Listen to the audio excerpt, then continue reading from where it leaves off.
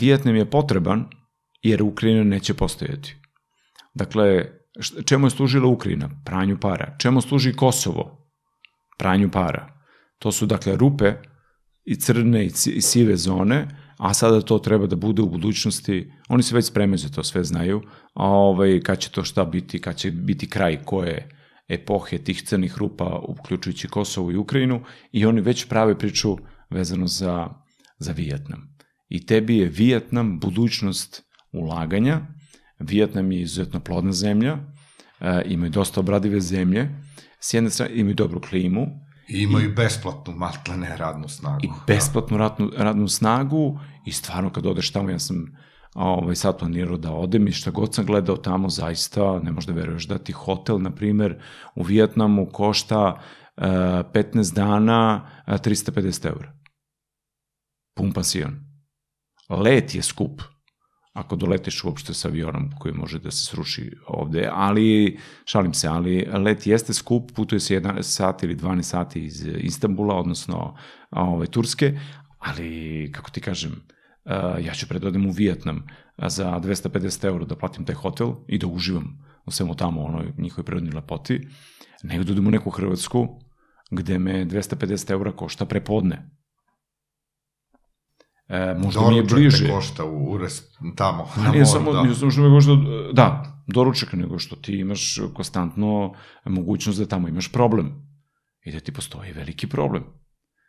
Znaš, e, ja sam sad, na primer, imao situaciju, pošto imamo lažiranje u kome učestvuju e, čak i naš e, čovek koji predstavlja muzej žrtava, direktor muzeja žrtava, ovaj je smanjivanje e, i umanjenje broja e, ubijenih i stradalih u Jasenovcu. Sad se pokreće peticija oko toga.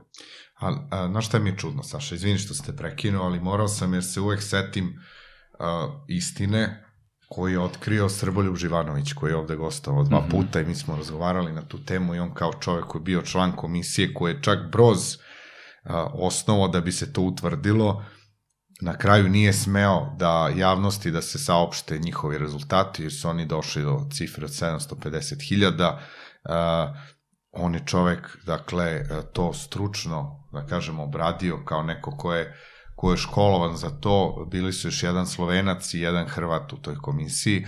Kada su prezentovali rezultate, njima je rečeno dajte te papire i gubite se. I uh, oni su rekli dobro, hoćemo i sad ovo da objavimo oni su maltene uh, sklonjeni, njemu je prećeno smrću, on je morao da napusti Jugoslaviju, vratio se tek negde tamo m, posle kraha SFRJ i čovek uh, koji je to uradio sve, nažalost, evo preminuo prvog dana ove godine, je više nego dokazano sve to rekao, a mi sada imamo ljude koji uh, vode tako neke institucije, nažalost na državnim su jaslama, koji govore neke stvari koje zaista se poklapaju sa onim što se govori u Zagrebu.